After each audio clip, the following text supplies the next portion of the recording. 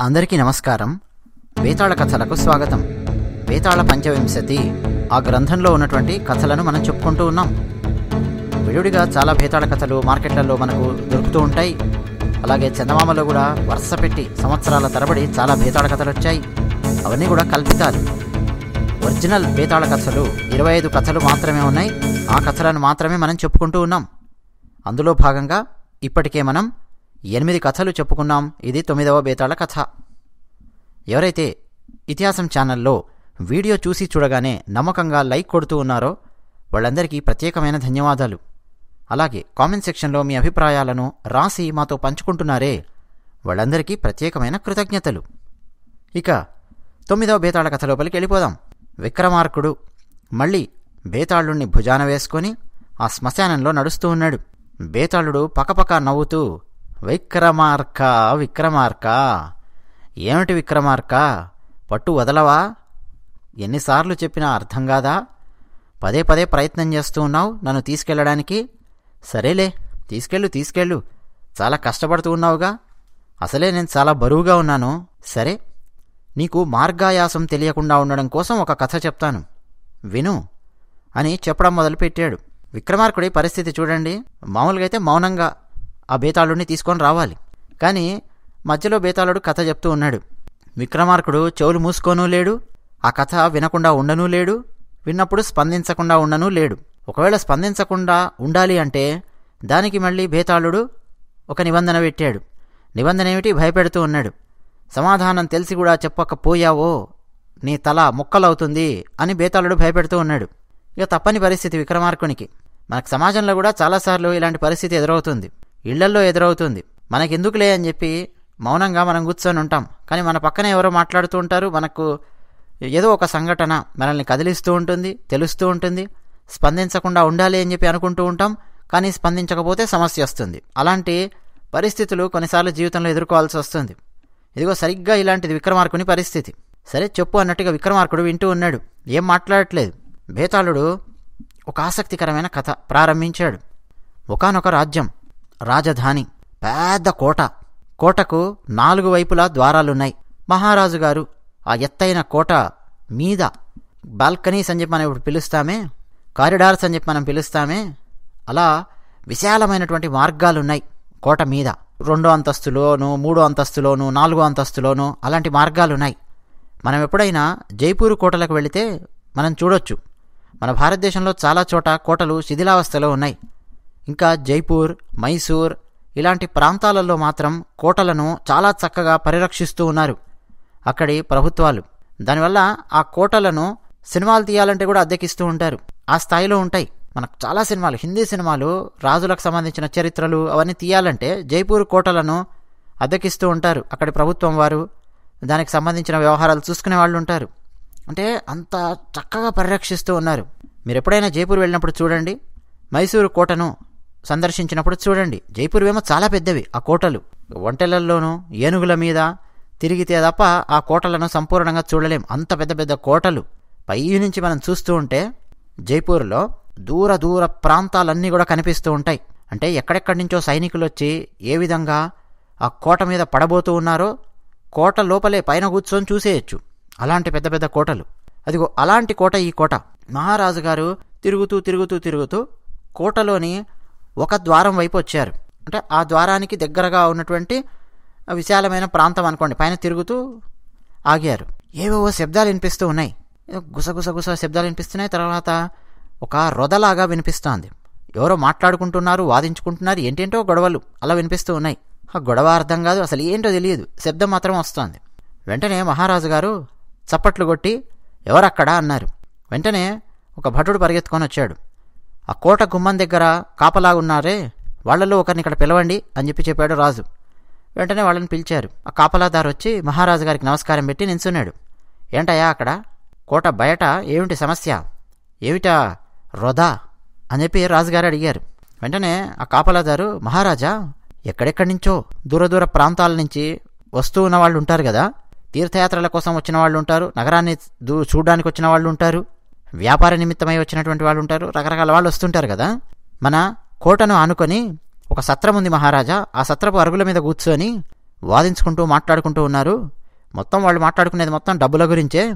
దానికి సంబంధించిన చర్చ వాదోపవాదాలు అవే ఉన్నాయి అని చెప్పి ఆ కాపలాదారు చెప్పాడు. సరే అని చెప్పి రాజుగారు వెళ్ళిపోబోతూ ఉంటే అప్పుడు కాపలాదారు అన్నాడు. మహారాజా ప్రతిరోజు కోట ఎదురుగా కొద్దిమంది నించొని చూస్తూ ఉంటారు. ఈరోజు ఆసక్తికరంగా ఒక బలాఢ్యుడు వచ్చాడు. అసలు ఎంత బలిష్టంగా ఉన్నాడంటే చేతిలో ఖడ్గం ఉంది కవచం ఉంది డాలు చేతిలో పట్టుకొని ఉన్నాడు. మహారాజు గారికి సేవ చేస్తాను అని చెప్పి వచ్చాడు. మీతో మాట్లాడించమని చెప్పి అడిగాడు. మహారాజా అతన్ని మరి లోపలికి పంపించమంటారా? అన్నాడు.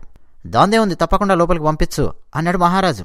కాసేపు అయిన తర్వాత మహారాజు గారు కోటలో ఆయన సభ లోపలికి వెళ్ళి ఆయన కూర్చున్నాడు. ఇప్పుడు ఆ బలాఢ్యుడు ప్రధాన ద్వారం గుండా మహారాజు గారు ఉన్నటువంటి ఆ సభ లోపలికి ప్రవేశించాడు. ఆశ్చర్యకరమైన విషయం చూడండి.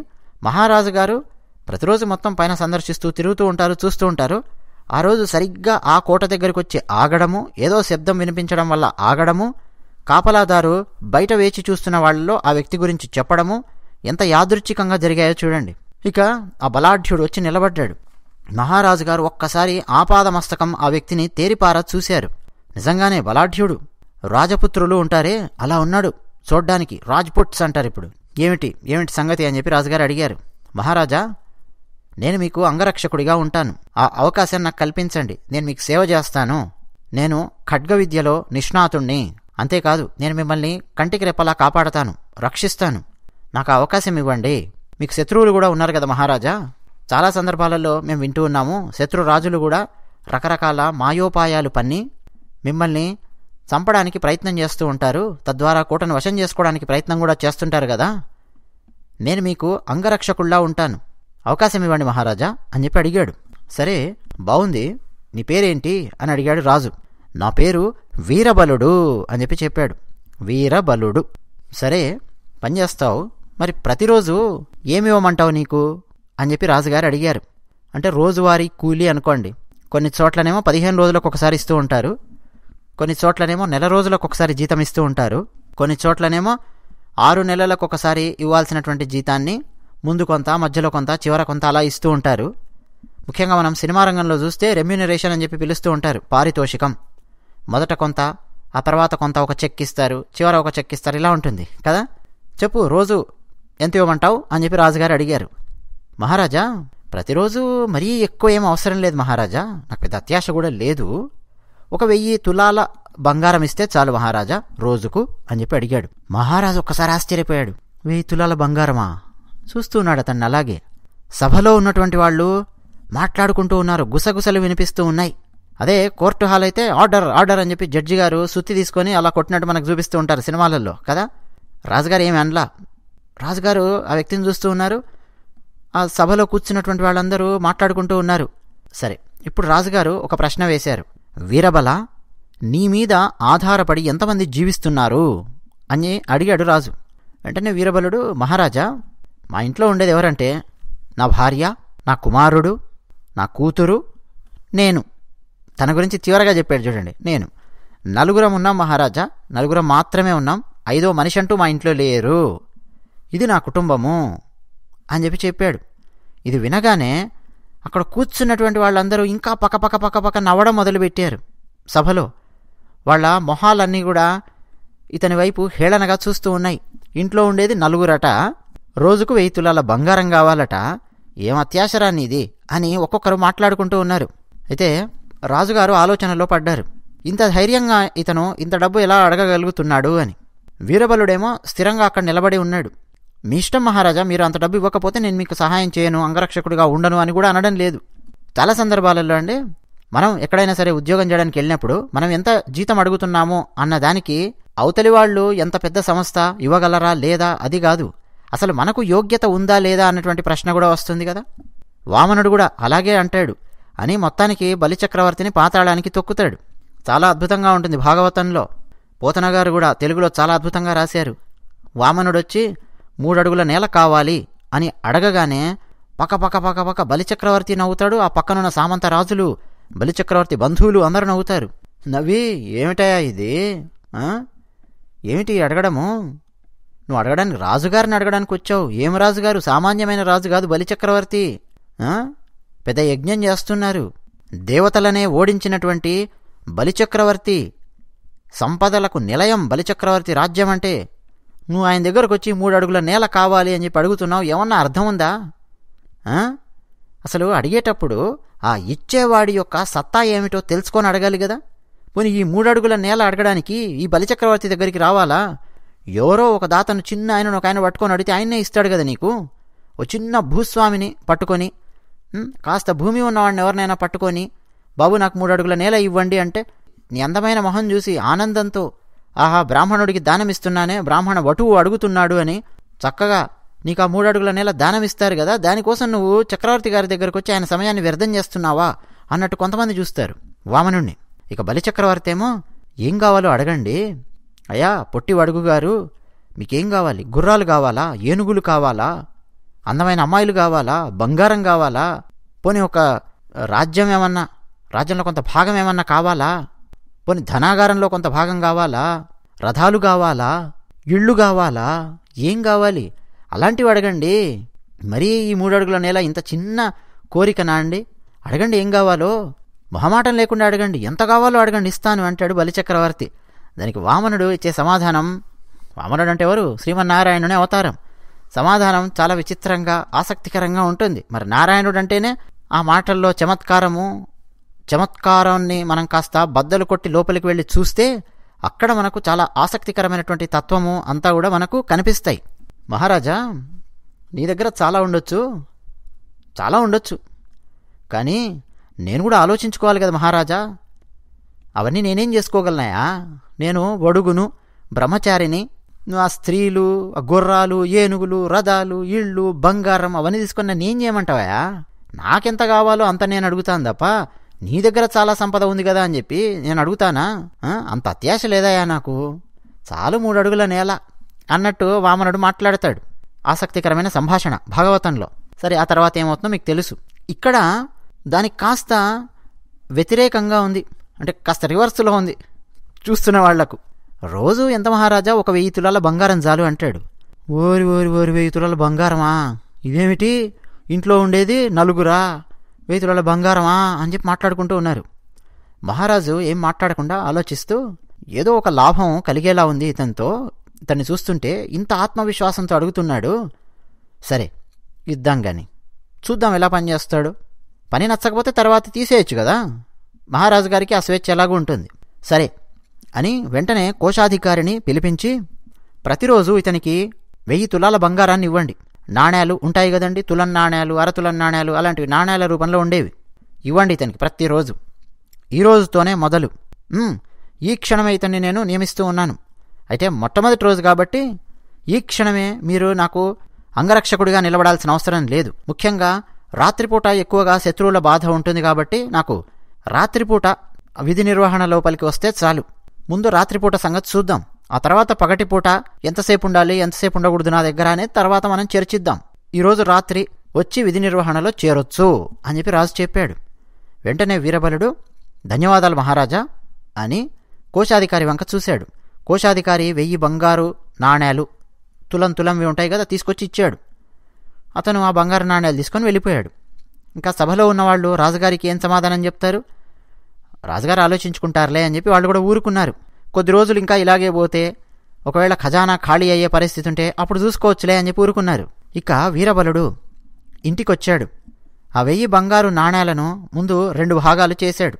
అంటే ఐదు వందలు ఐదు వందలు. ఐదు వందల తులాలు ఐదు వందల తులాలు. మొదటగా ఐదు వందల తులాలను ఆ నగరంలో ఉండే వేద పండితులు బ్రాహ్మణులు జ్ఞానాన్ని పంచేవారు ఉంటారు కదా? వారందరినీ పిలిచి వారందరికీ పంచేశాడు మరి వాళ్ళు ఎలా జీవించాలండి?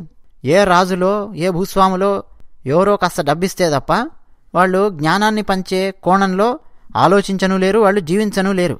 ఇక వాళ్ళు కూడా ఉద్యోగం చేద్దామా వ్యాపారం చేద్దామా ఏం చేద్దాం డబ్బు సంపాదించడానికి అన్న కోణంలో వాళ్ళ జీవితాన్ని గనక నడిపించారనుకోండి ఇక జ్ఞానాన్ని పంచడము విశ్లేషణ జ్ఞాన తృష్ణ ఇవేమీ ఉండవు. అవన్నీ చెట్టెక్కుతాయి. ఉద్యోగము డబ్బు సంపాదన దాని మీదే ఉంటుంది. అందువల్ల వాళ్ళందరికీ ఐదు వందల తులాలు పంచేశాడు ఇగో మీకో తులం మీకో తులం మీకో రెండు తులాలు మీకో నాలుగు తులాలు మొత్తం పంచేశాడు తర్వాత మిగిలిన ఐదు వందల తులాలను మళ్ళీ రెండు భాగాలు చేశాడు.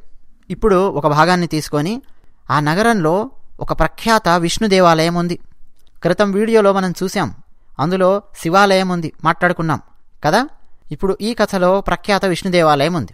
ఆ విష్ణు దేవాలయాన్ని సందర్శించడానికి ఎందరో తీర్థయాత్రికులు వస్తూ ఉంటారు.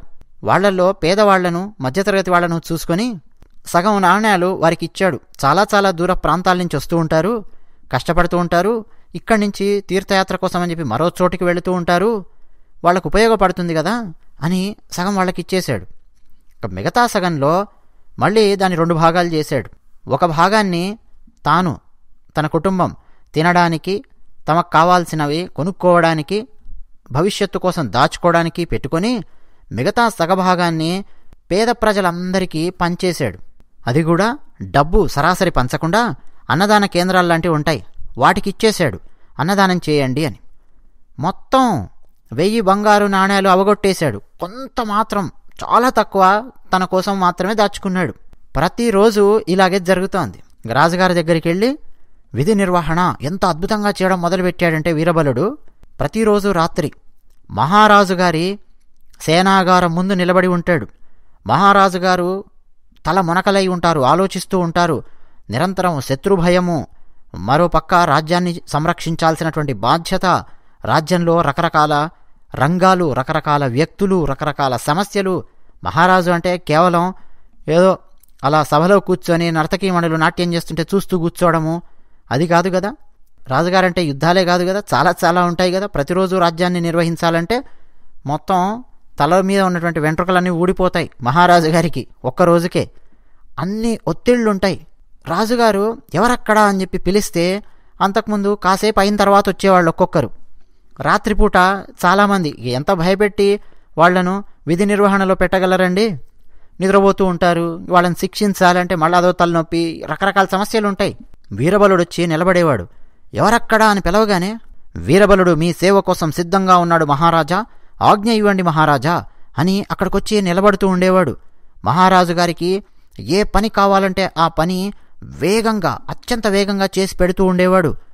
ఆ వీరబల ఫలానా ఫైల్ తీసుకురాపో ఫలానా డాక్యుమెంట్ కావాలి ఇలాంటివి అడిగాడు అనుకోండి సరే ఫైలు డాక్యుమెంట్ అంటే అప్పట్లో తాటాకులు దానికి సంబంధించిన దస్తావేజులు ఏమేమి ఉన్నాయో.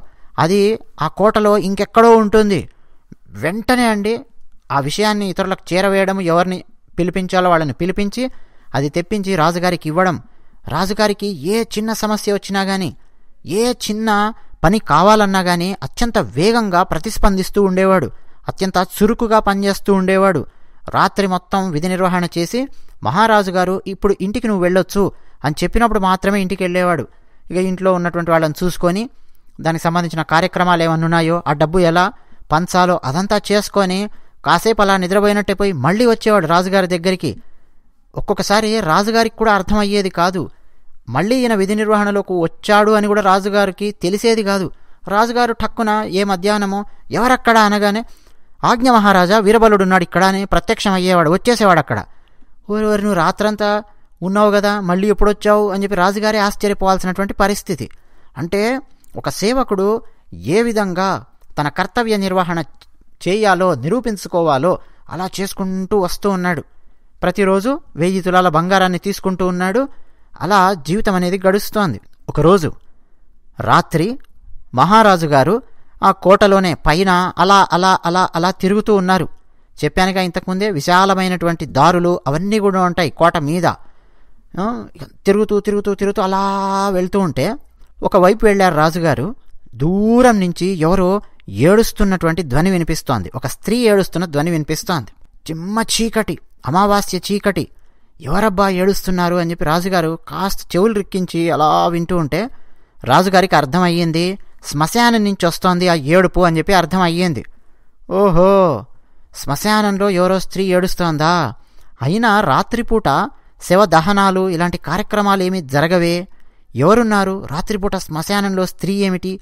ఏడవడమేంటి? ఎవరన్నా కొత్తగా వచ్చారా? ఏం సమస్య వస్తుంది అని చెప్పి రాజుగారు ఆలోచించడం మొదలుపెట్టారు. వెంటనే ఎవరక్కడా అని చెప్పి అన్నారు. వీరబలుడు ధడేల్మని అలా ముందుకు దూసుకొని వచ్చాడు. అసలు రాజుగారికి కూడా తెలియదు తనను రక్షిస్తూ ఉన్నాడు వీరబలుడు. తన చుట్టే తిరుగుతూ ఉన్నాడు. తన అలా నడుస్తూ ఉంటే స్తంభాల వెనక నుంచి అలా వస్తూ ఉన్నాడు అన్న విషయం రాజుగారికి కూడా తెలియదు వీరబలుడు వచ్చాడు. ఆజ్ఞ మహారాజా అన్నాడు. ఆ వీరబల ఉన్నావు కదా? శ్మశానంలో ఎవరో ఒక స్త్రీ రోధిస్తున్న శబ్దం వినిపిస్తోంది. నువ్వు శ్మశానానికి వెళ్ళి ఎవరా ఆ స్త్రీ? ఏంటా వివరాలు? కాస్త కనుక్కో. ఏమన్నా సమస్యలో ఉందేమో ఆమె కాస్త చూడు ఏంటో విషయం చూడు కనుక్కురా పో అని చెప్పి రాజుగారు పంపించారు.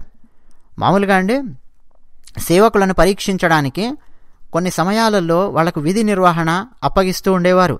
రాత్రిపూట లేకపోతే అత్యంత కఠినమైనటువంటి సమయాలలోనూ అత్యంత కఠినమైనటువంటి సమస్యలున్నప్పుడు కావాలని చెప్పి విధి నిర్వహణ ఇగో ఇలా చెయ్యి అని చెప్పి చెప్తూ ఉండేవారు. ఆ సమయంలో సేవకుడు నేను చెయ్యను నాకు ఈ సమస్యలున్నాయి అది ఇది ఇవన్నీ చెప్పాడనుకోండి మీనమేషాలు లెక్క పెడుతూ. అప్పుడు సేవకుడు ఎలా పనిచేస్తాడు అన్నటువంటి విషయం అర్థమయ్యేది యజమానికి. ఓహో ఈ సేవకుని యోగ్యత ఇంత అని చెప్పి అర్థమయ్యి ఇక ఆ సేవకునికి తర్వాత జీతం పెంచాలా వద్దా ఎక్కువ రోజులు కొనసాగించొచ్చా లేదా ఆ సేవకుని యొక్క బలాలేమిటి బలహీనతలేమిటి ఇవన్నీ తెలుస్తూ ఉండేవి. సాధారణంగా గురువులు కూడా అలాగే పరీక్షిస్తూ ఉంటారు. గురువుల పరీక్ష మరో రకంగా ఉంటుంది. సరే ఇక రాజుగారు అలా చెప్పగానే తప్పకుండా మహారాజా అని వీరబలుడు వెంటనే టక టక టక టక కిందికి వచ్చేశాడు ఖడ్గము డాలు చేతుల్లో ఉన్నాయి. వీరబలుడు శ్మశానం వైపుకు వేగంగా సాగిపోతూ ఉన్నాడు.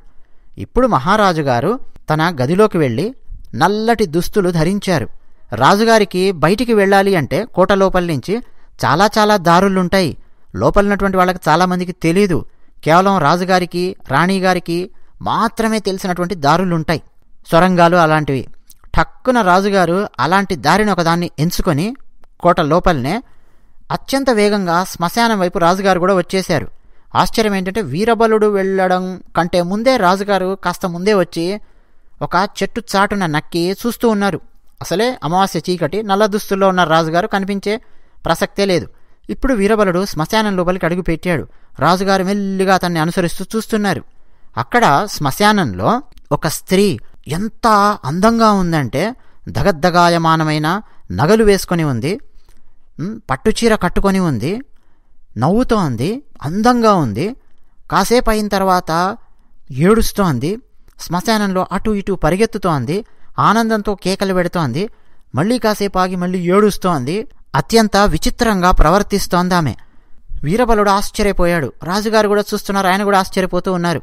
ఇక వీరబలుడు నడుచుకుంటూ ఆమె దగ్గరికి వెళ్ళాడు. ఆమె వీరబలుణ్ణి ఆశ్చర్యంగా చూసింది. ఎవరమ్మా మీరు? ఏమిటి వింత ప్రవర్తన విచిత్రమైన ప్రవర్తన? ఎవరో పెద్దింటి స్త్రీలా ఉన్నారు బాగా నగలు పెట్టుకోనున్నారు.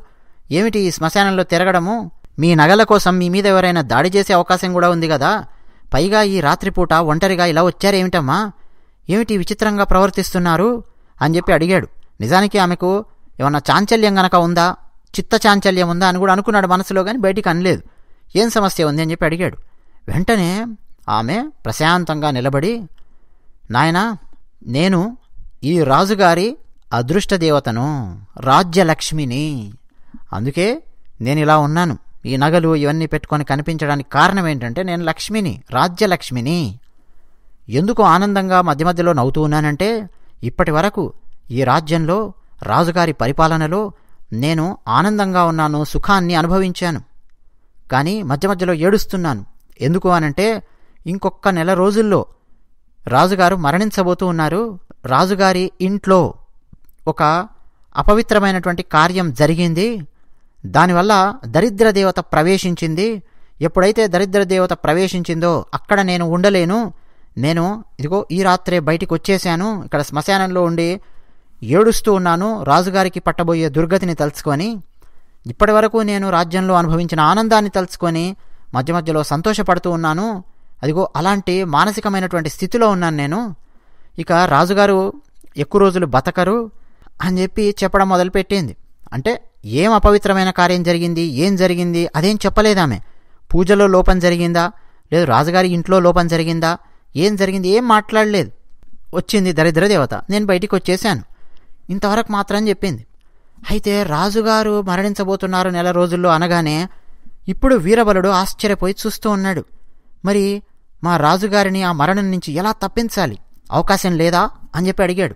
వీరబల రాజుగారిని ఆ మరణం నుంచి తప్పించాలంటే ఒకరు ప్రాణత్యాగం చెయ్యాలి.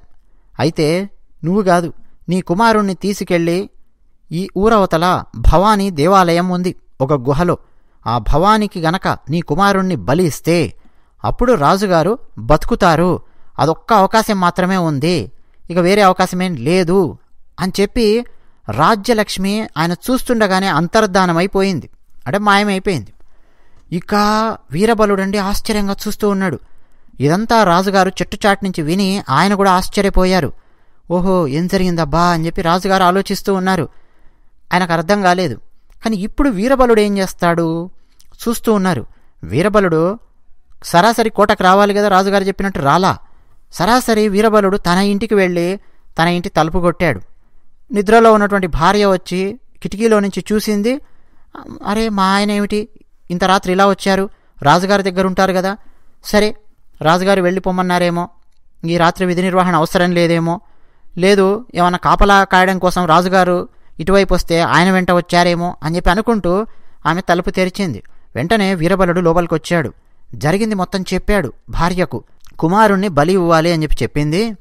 రాజుగారు గనక జీవిస్తే ఈ రాజ్యం బాగుంటుంది సుభిక్షంగా ఉంటుంది ఇంత చక్కగా రాజుగారి పరిపాలిస్తూ ఉన్నారు. మరేం చేద్దాం అని చెప్పి అన్నాడు. తల్లి ఏం చెప్తుందండి? కుమారుని బలి ఇవ్వాలంటే ఏమీ మాట్లాడలేని స్థితిలో మూగబోయినట్టుగా చూస్తోందామే ఈ లోపల కుమారుడు లేచాడు. నాన్నగారు మీరు చెప్పింది మొత్తం నేను విన్నాను. మన రాజుగారు బాగుండాలంటే నన్ను బలి ఇవ్వాలి అని చెప్పి చెప్పింది కదా ఆమె. తప్పకుండా నేను ఒప్పుకుంటాను. నన్ను తీసుకెళ్ళి బలి ఇవ్వండి. రాజ్యం కంటే నా ప్రాణమేం గొప్పది కాదు. రాజుగారు ఎంత చక్కగా పరిపాలిస్తూ ఉన్నారు. ఏ సమస్య లేకుండా పరిపాలిస్తున్నారు. అలాంటి రాజుగారు నిండు నూరేళ్ళు బతకాలి. నన్ను బలివ్వండి నాన్నగారు అని చెప్పి కుమారుడు చెప్పాడు. ఇక ఇప్పుడు వీరబలుడు బాధతోనే సరే సరే అని చెప్పి ఒప్పుకున్నాడు. అయితే వాళ్ళ కుమార్తె నిద్రపోతుందేమో అనుకుంటే ఆమె నిద్రపోవడం లేదు. ఆమె లేచి వాదించడం మొదలుపెట్టింది. నాన్నగారు అలా ఎలా బలిస్తారు? వద్దు నాన్నగారు. నిజమే రాజుగారు బాగుండాలి అంతా బాగానే ఉంది. నాకు కూడా రాజుగారు బాగా ఉండాలనే ఉంది. కానీ ఇలా ఎలా బలిస్తారు? అని చెప్పి ఆమె మాట్లాడడం మొదలుపెట్టింది. ఒక చర్చ వాగ్వివాదము ఇవన్నీ నడుస్తాయి కదా? అవన్నీ నడిచాయి వాళ్ళ నలుగురి మధ్యలో. ఇక చిట్ట చివరకు సరే ఇతన్ని బలి ఇవ్వాలి అని చెప్పి తీర్మానం చేసుకున్నారు. ఇక నలుగురు కలిసి భవానీ దేవాలయం వైపుకు అదే రాత్రి సాగి వెళ్ళిపోవడం మొదలుపెట్టారు. రాజుగారు ఆశ్చర్యంగా ఇదేమిటి వీళ్ళు ఇలా చేస్తున్నారు? నిజంగా బలిస్తాడా? లేకపోతే అక్కడికి వెళ్ళిన తర్వాత మాట మార్చుకుంటాడా? అక్కడ వెళ్ళిన తర్వాత తల్లి అడ్డుపడ్డమో ఏదో అడ్డుపడితే ఆగిపోతారా? అసలు ఏం జరుగుతుంది? చూద్దాము. అని రాజుగారు కూడా మెల్లిగా ఆ చీకట్లో వాళ్ళను అనుసరించారు. ఈ నలుగురు సరాసరి ఊరవతల గుహలో ఉన్నటువంటి భవానీ దేవాలయం లోపలికి వెళ్ళారు. వీరబలుడు భవానీదేవి ముందు తన కుమారుణ్ణి కూర్చోబెట్టి హమ్మా భవానీదేవి రాజ్యలక్ష్మి ఇలా చెప్పింది. మా రాజుగారు నిండు నూరేళ్ళు జీవించాలి. అని చెప్పి వరమివ్వు ఇదిగో నా కుమారుణ్ణి నేను నీకోసం బలిస్తున్నాను అని వేగంగా తన ఖడ్గాన్ని తీసుకొని ఒకే దెబ్బ వేశాడు కుమారునికి. కుమారుని తలకాయ ఎగిరిపోయింది. మొండెం అలా కింద పడిపోయింది. ఇక ఇప్పుడు తల్లి బాధ బాధ కాదు. ఆ, చనిపోయిన పిల్లవాడి సోదరి ఆమె బాధ ఆమె బాధ కాదు అసలు ఏడుస్తూ ఉన్నారు. ఈలోపు వీరబలుడు ఒక మాట అన్నాడు భవానీ ముందు అమ్మా నా కుమారుడు లేకుండా నేను ఎలా జీవించాలి? నేను కష్టపడుతున్నాను డబ్బు సంపాదించి తీసుకొస్తున్నాను దాన్ని దాన ధర్మాలకు ఉపయోగిస్తున్నాను సేవ కోసం ఉపయోగిస్తున్నాను మిగిలిన కాస్త డబ్బు నా కుమారుని కోసం ఇద్దాము అని చెప్పి దాస్తూ ఉన్నాను నా కుమార్తె పెళ్ళి కోసం అని చెప్పి దాస్తూ ఉన్నాను. ఇప్పుడు ఏం చేయాలి? నా కుమారుడు లేడు నన్ను ఏం చేయమంటావు? ఏం చేయాలి నేను? నేను జీవించలేను అని మాట్లాడుతూ అదే ఖడ్గం తీసుకొని తన గుండెల్లో పొడి చేసుకున్నాడు. కుప్ప కూలిపోయాడు వీరబలుడు కింద పడిపోయాడు. ఇదంతా చూసి వీరబలుని భార్య అయ్యయ్యో భర్త మరణించాడు కళ్ళ ముందే కుమారుడు మరణించాడు ఇక నేనెందుకు జీవించాలి అని అక్కడే ఉన్న ఒక బాకు దాన్ని తీసుకొని తన గుండెల్లో అలా పొడి చేసుకొని ఆమె కింద పడిపోయింది మరణించింది. ఇదంతా చూసి ఇక మిగిలింది ఎవరండి? ఆ అమ్మాయి ఒక్కతి మిగిలింది. తల్లి లేదు తండ్రి లేడు సోదరుడు లేడు. ఇక నేనేం చేయాలి? అని ఆ అమ్మాయి కూడా అక్కడే పడిన ఒక ఖడ్గాన్ని తీసుకొని తన తలకాయను ఖండించుకుంది. ఆమె కింద అలా పడిపోయింది. నలుగురు మరణించారు. ఇదంతా అండి రాజుగారు చూస్తూనే ఉన్నారు. అసలు రాజుగారు చూస్తుంటేనే క్షణాలు కూడా కాదు సమయం టక టక టక టక సంఘటన జరిగిపోయింది. ఇప్పుడు రాజుగారు అక్కడికి వచ్చి నిలబడ్డారు. భవానీ విగ్రహం ముందు నిలబడి అయ్యయ్యో వాళ్ళ కుటుంబం మొత్తం నాశనం అయిపోయింది. దీన్ని కళ్ళతో చూస్తూ నేనెందుకు జీవించి ఉన్నాను అని రాజుగారు తన ఖడ్గాన్ని ఒరలో నుంచి లాగి తన కంఠాన్ని ఖండించుకోబోతుంటే భవానీమాత ప్రత్యక్షమయ్యింది. ఆగు రాజా ఆగాగు అని చెప్పి అంది. రాజుగారు ఆగిపోయారు. రాజా చెప్పు ఏమి నీ కోరిక? అంది. ఏముందమ్మా నా కోరిక? ఈ నలుగురిని జీవింపజేయి. నేను పోయినా పర్వాలేదు కానీ నా ముందు ఈ కుటుంబం ఇలా మరణించడం ఏంటి? లేదు లేదు ఈ నలుగురు జీవించాల్సిందే అని చెప్పి రాజుగారు కోరారు. వెంటనే భవానీమాత తన చేతుల్లో ఉన్న కమండలంలో నుంచి అమృత జలాన్ని ఆ నలుగురి మీద చల్లింది. ఆ నలుగురు అలా నిద్రలో నుంచి లేచినట్టు లేచారు. అంటే తిరిగి జీవించారు. ఇక అక్కడి నుంచి మళ్ళీ నలుగురు ఆనందంగా వెనక్కి వెళ్ళిపోయారు. ఇప్పుడు భవానీమాత చెప్పింది రాజా నీకేమీ కాదు. నువ్వు నిండు నూరేళ్ళు జీవిస్తావు. వెళ్ళు అని చెప్పింది. ఇక ఆ ఐదు మంది భవానీమాతకు నమస్కరించి వెనక్కొచ్చారు. ఇప్పుడు రాజుగారు మెచ్చుకొని వీరబలునికి రాజ్యంలో కొంత భాగాన్ని దానం చేశారు. స్వతంత్ర రాజ్యంగా చేసి వీరబల ఈ రాజ్యాన్ని మొత్తం నువ్వు ఏలుకో. నీకు క్షాత్రము ఉంది ధైర్యము ఉంది దానగుణము ఉంది మంచి లక్షణాలు ఎన్నో ఉన్నాయి నీలో. రాజుగా ఉండడానికి తగినవాడివి నువ్వు. తీసుకో ఈ స్వతంత్ర రాజ్యాన్ని అని ఒక భాగాన్ని ఇచ్చేశాడు. ఇక ఆ తర్వాత వీరబలుడు తన రాజ్యాన్ని తాను ఏలుకుంటూ ఉన్నాడు. ఇది కథ. భేతాళుడు మొత్తం ఈ కథంతా చెప్పి విక్రమార్క మహారాజా ఇప్పుడు చెప్పు. ఆ కుమారుడు బలయ్యాడు సిద్ధమయ్యాడు బలికి. కదా? కుమారునికి అసలేం సంబంధం లేదు రాజుగారితో. ఆయన సిద్ధమయ్యాడు. తండ్రి అంటే వీరబలుడు ఆయన తన కంఠాన్ని ఖండించుకున్నాడు. భార్య ఆ అమ్మాయి వాళ్ళు మరణించారు. రాజుగారు తన కంఠాన్ని ఖండించుకోబోయాడు. ఇప్పుడు చెప్పు ఈ ఐదు మందిలో ఎవరి ఆత్మత్యాగము గొప్పది? ఆలోచించి చెప్పు. తెలిసి కూడా చెప్పకపోయావో? నీ తల ముక్కలైపోతుంది. చెప్పు అని బేతాళుడు అడిగాడు. ఇక విక్రమార్కుడు ఆలోచించడం మొదలుపెట్టాడు. చాలా జాగ్రత్తగా ఆలోచించడం మొదలుపెట్టాడు.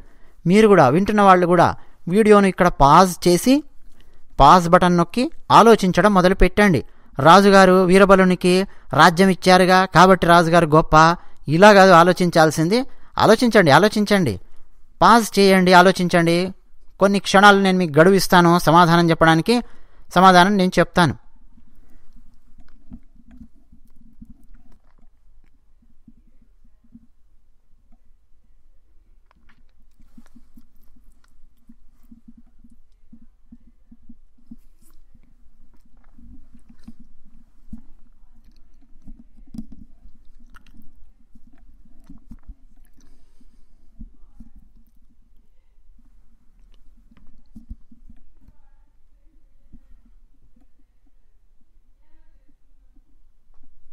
ఇప్పుడు విక్రమార్క మహారాజు సమాధానం ఇచ్చాడు. బేతాళ మహారాజు చేయబోయిన త్యాగం చాలా గొప్పది ఆత్మత్యాగము అని చెప్పి అన్నాడు. వెంటనే బేతాళుడు ఎందుకు? అన్నాడు. అప్పుడు విక్రమార్కుడు చెప్పాడు. వీరబలుడు ఆయన ఏం చేస్తున్నాడు? అసలు ఆయన కర్తవ్యం ఏమిటి? మహారాజు గారికి అంగరక్షకుడు కదా. అంటే శత్రువులు ఎవరైనా సరే వచ్చారంటే తన ప్రాణాన్ని అడ్డు వేసైనా సరే మహారాజు గారిని రక్షించడం. అందువలన వీరబలుని యొక్క త్యాగం గొప్ప త్యాగమేం కాదు. మహారాజు గారు ఆ కుటుంబాన్ని చూసుకుంటూ ఉన్నారు డబ్బిస్తూ ఉన్నారు. మహారాజు గారు బావుంటే దేశం సుభిక్షంగా ఉంటుంది. సుభిక్షంగా ఉండడానికి తమ వంతు బాధ్యత తాము నిర్వర్తించాలి అని చెప్పి ప్రతి పౌరుడు కూడా ఆలోచించాలి. అది ప్రతి పౌరుని యొక్క కర్తవ్యము.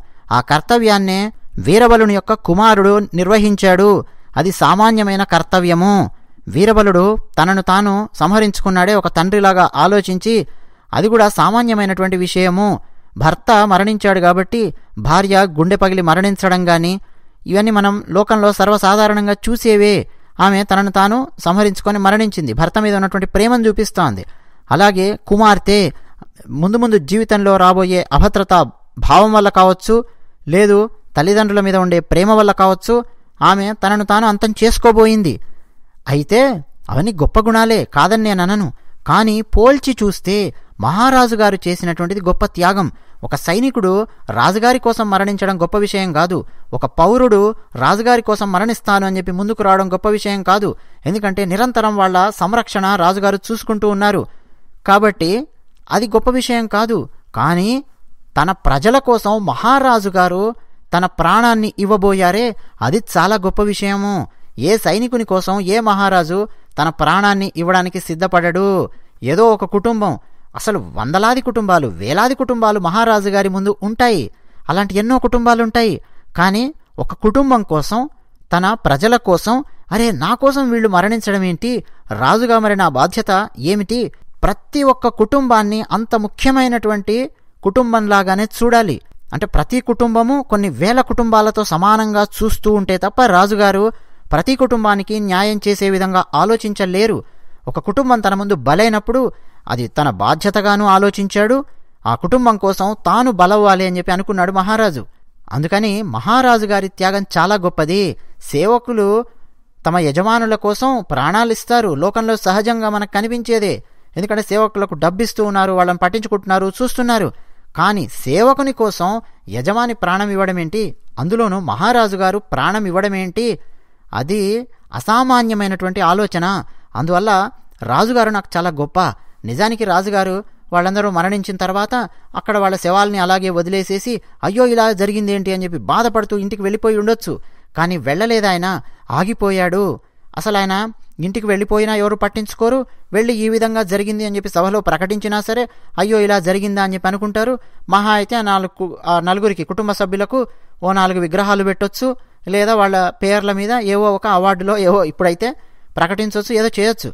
కానీ రాజుగారు తట్టుకోలేకపోయారు. ఒక కుటుంబం తన ముందు ప్రాణాలు తీసుకునేసరికి తన కోసము చీచి ఇలాంటి ప్రాణం నాకు అవసరమా? అని చెప్పి రాజుగారు తాను మరణించబోయారంటే రాజుగారు అయ్యా చాలా గొప్పవాడు అని విక్రమార్కుడు సమాధానం ఇవ్వడం మొదలుపెట్టాడు. ఏం అద్భుతమైన సమాధానం ఇచ్చావా? అబ్బాబ్బాబ్బా అద్భుతం అద్భుతం విక్రమార్క. కాకపోతే నువ్వు మాట్లాడకూడదు. నువ్వు మాట్లాడావు. కాబట్టి నేనేం చేస్తాను? రెవ్ బేతాళుడు ఎగిరిపోయాడు. ఇదండి వీరబలుని కథ అన్నట్టు మనకు హిందీలో అయితే ఈ వీరబలుని పేరు బీర్బర్ అని చెప్పి ఉంటుంది. బీర్బల్ కాదు బీర్బర్ వీరభర్ వీరబల్. మనమైతే వీరబలుడు అని చెప్పి చెప్పుకున్నాం. ఇదండి ఆసక్తికరమైనటువంటి కథ. ఇక రాబోయే మరొక ఆసక్తికరమైన కథతో మళ్ళీ నేను మిమ్మల్ని కలుసుకుంటాను. ఈ లోపల ఇతిహాసం ఛానల్లో వేరే వీడియోస్ వస్తూనే ఉంటాయి. ఒక్కొక్కసారి పాత వీడియోస్ను కూడా రీపబ్లిష్ చేయడం జరుగుతుంది కొత్త కొత్త సబ్స్క్రైబర్స్ కోసం. కాబట్టి ఆ వీడియోస్ కూడా మీరు చూస్తూ ఉండండి. ఒకసారి చూసినటువంటి వీడియోను మళ్ళీ చూశారనుకోండి సమస్య ఏముందండి? ఏమీ లేదు కదా? ఉపయోగపడే వీడియో ఆసక్తికరమైన వీడియో మన మనసులో ఆ కథ లేదా ఆ సంఘటన లేదా ఆ అంశము మరింత బాగా నిలిచిపోతుంది. మళ్ళీ మళ్ళీ వీడియోను కనుక మీరు చూస్తూ ఉంటే కాబట్టి మిగతా వీడియోస్ కూడా మీరు చూస్తూ ఉంటారని చెప్పి ఆశిస్తూ జై శ్రీమన్నారాయణ.